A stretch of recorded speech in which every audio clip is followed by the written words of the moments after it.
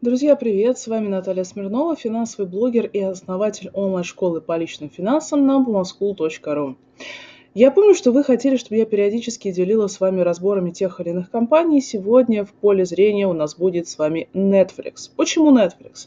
Ну, потому что Netflix просел почти на 12% после публикации отчетности за первый квартал 2021 года.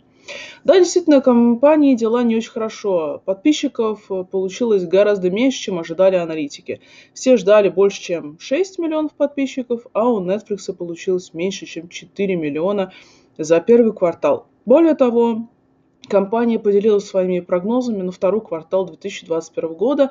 Они вообще ждут прирост всего на 1 миллион подписчиков, в то время как аналитики до публикации вот отчетности за первый квартал ждали, что это будет плюс 5 миллионов за второй квартал. Вот такая вот история. Конечно же, акции просели, но стоит ли их сейчас подбирать, либо это падающий нож, от которого лучше отойти в сторонку? Ну, смотрите, мое мнение. Netflix, в общем-то, это основной бенефициар, один из основных бенефициаров пандемии. Ну, вспомните 2020 год. Все сели по домам, что делать дома? Ну, конечно же, стриминг, конечно же, э, естественно, онлайн-телевидение.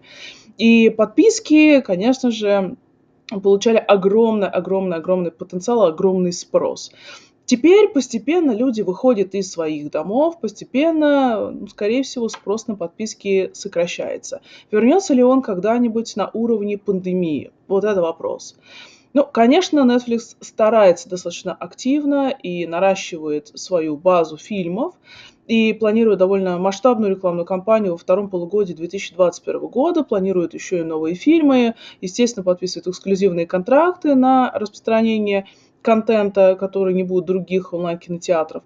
Но, тем не менее, будет ли продолжаться тот спрос, который был в период пандемии? Я пока не могу ответить на этот вопрос, поэтому для меня Netflix сейчас это бумага исключительно для спекуляций. На долгосрок брать ее не готова, потому что насколько история стриминга это про долгосрок, ну, это вопрос. Для меня это та же история, что и про Zoom.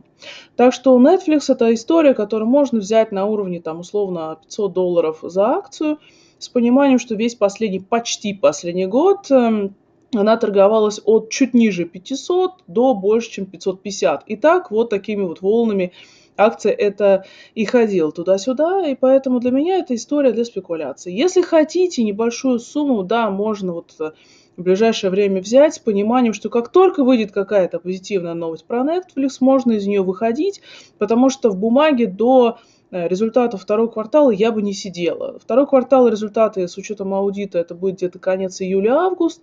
И если там действительно будет отчетность эм, еще хуже в плане прироста, чем и за первый квартал, то бумага просядет еще ниже от текущих уровней. Поэтому можно спекулятивно попробовать, если вы готовы к риску, готовы к тому, что она может просесть, естественно, еще, Потому что долгосрочно никто вам не гарантирует, что эта история про действительно что-то такое стоящее.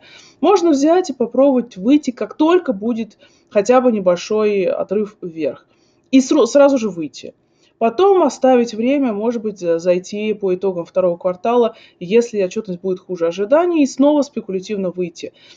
Заходить на долгосрок в эту бумагу я рассчитываю, если вообще я буду туда заходить, на долгосрок только где-то, когда пройдет хотя бы полгода после снятия всех ограничений, когда мы вернемся в нормальный режим работы, и можно будет оценить потенциал стримингового сервиса. Кроме того, конкурентов у Netflix становится все больше, особенно в каждой конкретной стране, и поэтому, опять же, на долгосрок временный хайп я брать не готова. Что вы думаете, что вы скажете по этой бумаге, какие бумаги вы бы хотели, чтобы я рассмотрела в следующих видео? Напишите мне об этом в комментариях, я с удовольствием запишу новые ролики специально для вас.